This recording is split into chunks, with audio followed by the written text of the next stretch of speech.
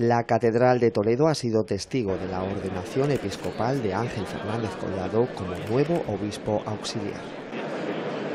Representantes de todas las instituciones políticas se dieron cita junto a personalidades eclesiásticas de la provincia de Toledo. La ceremonia ha sido oficiada por el arzobispo de Toledo, don Braulio Rodríguez.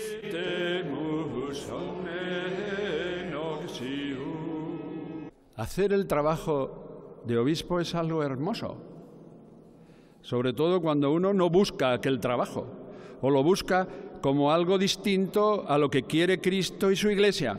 Ah, entonces no es tan bonito. Eso no es del Señor. Pero cuando él llama a un presbítero para ser un obispo, esto es hermoso.